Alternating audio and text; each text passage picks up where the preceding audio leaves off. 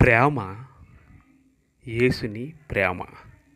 అయితే మీరు సహోదరులరా సబ్స్క్రైబ్ చేయండి లైక్ చేయండి షేర్ చేయండి మామూలే కానీ అయితే ప్రేమ అనేది అన్నిటికన్నా గొప్పైనది. ఈ ప్రేమ ఎక్కడి నుంచి వస్తుంది? ఇది ఎప్పుడు నిలుస్తుంది? ని నిజంగా నిలిసే ప్రేమ ఏది? అంటే ఎప్పుడు ఎల్లకాలం ఉండేది ఒక దేవుని ప్రేమే. మానవుడిని ఎంతో మనుషులు మనుషులు ప్రేమించినప్పుడు కూడా ఏదైతే కావాలనుకుంటున్నారో అది ఏదో రోజు ఒక రోజున విడిపోతున్నారు. ఒక విషయం మీరు గమనించండి మీ గుండె మీద చేసుకుని మీరు ఒకటి ఆలోచించండి. ఎవరినైనా మనం ఎక్కువ ప్రేమించామనుకోండి పిల్లల్లో కానీ భార్యను కానీ ఈ లోకములు ఏదైనా ప్రేమించామనుకోండి అది మనకు దూరం అయిపోతుంది చాలామందికి కూడా అయితే ప్రభువు ఏం చెప్తున్నాడంటే నిన్ను వనే నీ పొరుగు వారిని ప్రేమించండి. నీ తండ్రి దేవుని నీ హృదయపూర్వకంగా అది నీ పూర్ణ హృదయంతోనూ ప్రేమించు. ప్రేమించుటయే నిజమైన ప్రేమ అని అది నిజమైన ఆజ్ఞని కొత్త నిబంధనలో చెప్తున్నాడు. పాత నిబంధనలు అయితే పది ఆజ్ఞలు ఉన్నాయి. కొత్త నిబంధనలో ఇది ప్రధానమైన ఆజ్ఞ ఏది అని వాళ్ళు అడిగితే శిష్యులకి శిష్యులు అడిగితే శిష్యులు అడిగితే చెప్తున్నాడు. నిన్ను వలే నీ పొరుగువారిని ప్రేమించు. నీ తండ్రి అయిన దేవుణ్ణి నీ పూర్ణ హృదయముతోనూ నీ పూర్ణ బలముతో ప్రేమించుము అని యేసు ప్రభువు చెప్తున్నాడు పక్కాగా అయితే ఏంటంటే మనం నిన్ను నీ పొరుగుని ప్రేమించాలి. మనం తింటున్నాం మనం బాగున్నాం మన ఇల్లు కట్టుకున్నాం మనం మంచి హ్యాపీగా ఉన్నాం. అలాగే పక్కోడు ఉండాలని వాడికి సహాయం చేయాలి ఇల్లు లేని వాడికి ఇల్లు ఆహారం లేనివాడికి ఆహారం. ఒకవేళ డబ్బులు లేని వాడికి ఏదో కొంత సహాయం చేయమని ప్రభువు చెప్తున్నాడు. నేను హ్యాపీగా ఉన్నాను. జయ జయ అనేసుకొని మీరు గొప్పలు మీరు పొగుడు కొంత మీ అంతలో మీరే కాదు కానీ ఎదుటివారిని ప్రేమించండి అంటాడు. ఒక ధనము ఒక ఉన్నారు చాలామంది మనం ఈ లోకంలో ఏదైనా డబ్బు సంపాదిస్తాడు గొప్పల కోసం పెళ్ళిళ్ళు కట్టేసి అయ్యేటప్పుడు ఓ చాలామంది కారులకు వస్తా కారులతో వస్తారని ఆ పెళ్ళిళ్ళప్పుడు మాత్రం కోట్లు కోట్లు ఖర్చు పెట్టేస్తారు. ఇంత మంచి మంచి భోజనాలు ఒక రోజే పెట్టేస్తాడు ఆ రెండో రోజు వెళ్ళి బాబు ఆకలేస్తుందంటే నువ్వు ఎవడు నాకు తెలియదు గేట్ తీయరు. పెళ్ళి రోజు మాత్రం ఊరందరికీ భోజనాలు పెట్టేస్తారు. అది గొప్ప ఈడెంత బాగా చేశాడు పెళ్ళి వాడెంత బాగా చేశాడని వాడి స్వార్థం కోసం కానీ. అదే పెళ్ళి అయిన మూడో రోజు అలాగే వెళ్ళండి బాబు ఆగలేస్తుందంటే అక్కడ గేటు తీయడు.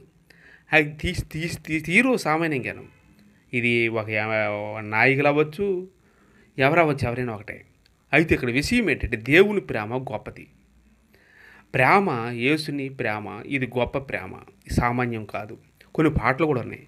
వెండి బంగారాల కన్నా మిన్ననైనది.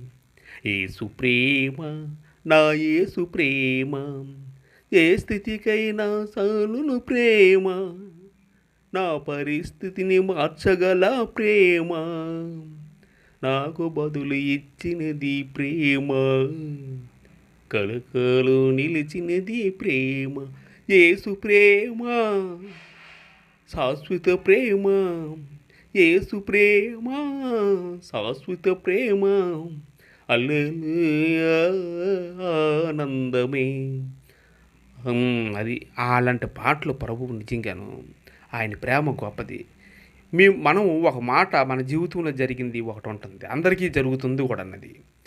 ఇది ప్రభు ఏమన్నాడంటే నీ కుమారుని కానీ నీ కూతు నీ ఒక భార్యని కానీ ఏదైనా నాకన్నా ఎక్కువగా మీరు ప్రేమించకూడదు అన్నాడు. అంటే స్వార్థమని కాదు. మనం ఎక్కువ ఏదైనా ప్రేమించమనుకోండి అది మనకు దూరమైనప్పుడు ఏమవుతామంటే నేను ఎంత ప్రేమించిన నా భార్య ఎంత నేను ప్రేమించిన నా భార్య భర్త అదే నా పిల్లలు వీళ్ళందరూ నన్ను విడిస్తారు. వీళ్ళకి అయిపోయినాయి అని వాళ్ళు వెంటనే మనకు ప్రేమ మనం ఇచ్చినంత ప్రేమలు చూపకపోతే వెంటనే ఆలోచించి ఆలోచించి మనం చనిపోతున్నాం కాబట్టి యేసుప్రభు ఏమిటంటే అలాంటి ప్రేమ లోకానికి నువ్వు పెట్టవద్దు. లోకం నుంచి నీకు దొరుకుతుందో లేదో తెలియదు నేనైతే నేను నీ ప్రాణానికి ప్రాణం పెట్టిన స్నేహితుడును. ఆ ఒక్క ప్రేమ నేను చూపిస్తాను నీ- నీ కోసం నేను ప్రాణం పెడతాను అని మనందరి కోసం ఆయన సిలువులో ప్రాణం పెట్టి చూపించాడు. అటు కాదు ఇటు చూడండి ఇది పరలోక రాజ్యం. ఈ పరలోక రాజ్యాన్ని మీరు చూడండి. ఇది శాశ్వతమైన రాజ్యం అశాశ్వతమైనది కాదు. అయితే అని ఏసు యేసు ప్రభు మనకు చెప్పడం జరిగింది. అయితే ఇప్పుడు మనము చాలామంది పిల్లలుగా చదివించడం ఎన్నో రకాలుగా ఎంతో ప్రేమ ప్రేమిస్తున్నారు. ఒక తండ్రి పిల్లల్ని చాలా దినగా ప్రేమించని చేసే ఇద్దరు కొడుకుల్ని ఆ ఇద్దరు కొడుకులు పెద్ద ఇంత మంచి ఉద్యోగాలు రావాలని వాళ్ళకి బాగా చదివించి అప్పులు చేసి ఇల్లు టాకెట్ పెట్టి కూడాను వాళ్ళు చదివించి జాబులు చేయించాడు చేయించిన తర్వాత ఇల్లు టాకెట్లో ఉందా ఇల్లు.